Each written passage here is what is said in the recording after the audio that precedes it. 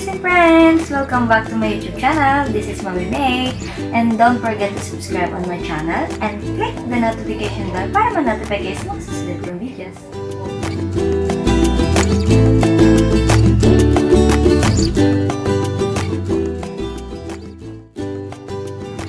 For today's vlog, ah, magpapagupit ako.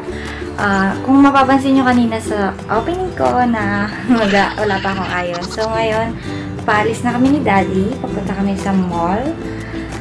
Napagdesisyonan kong magpagupit kasi sobrang kapal na tsaka ang haba na ko.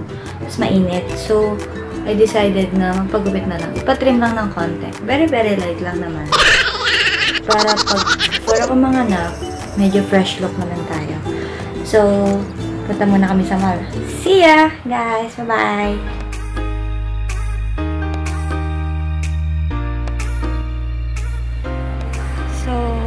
Nandito na kami sa mall. Magpapagupit na. Dapat trim ko lang yung hair ko ng very, very light.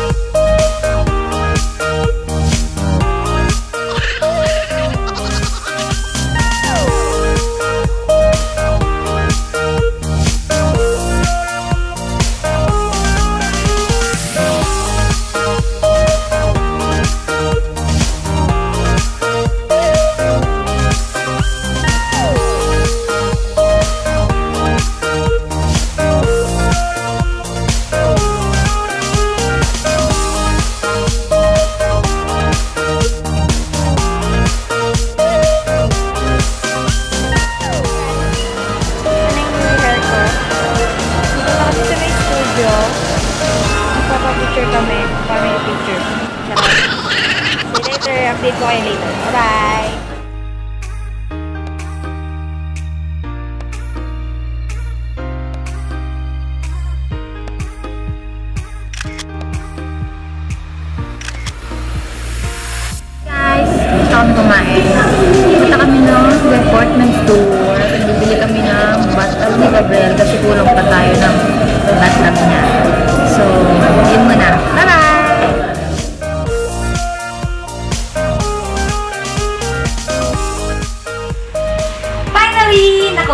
Ni Daddy from Mali.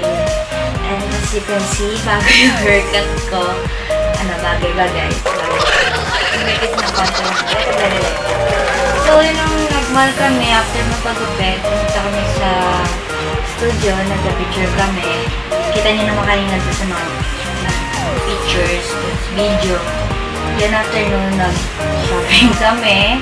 Tapos nagpunta rin kami ng hypermarket para mag-grocery. And then, sa department store, sinabi ko na rin yung kulang ni Gabriel na backpack. Ito yun, guys. Batag tsaka bumili naman kami tago. Sa tago, nabili namin sa may hypermarket. Worth 29.75. And then, ito yung batang. So cute. White siya. Plain na plain. Ang ganda. Under baby company din, sa may department store. Worth, kung makikita nyo guys, 329.75. Sobrang cute. Ito na yung pinakamura na nakita namin sa mall kasi meron kaming nakita dun. Ang presyo niya is 799 tapos 899 hanggang umabot ng libo. So, ito na yung pinakamura. Pares lang din naman papalaguan ni baby. So, ito na yung pinili namin. Tsaka, ang ganda ng design kasi ganyan lang plain white. So, yun. Pinapili ko. Kompleto na si Gabriel. Itabo na ikaw paligo. Wala na siyang kulang. So, siya na naghihintay. So, that's the vlog for today, guys. Thank you for watching. Bye-bye!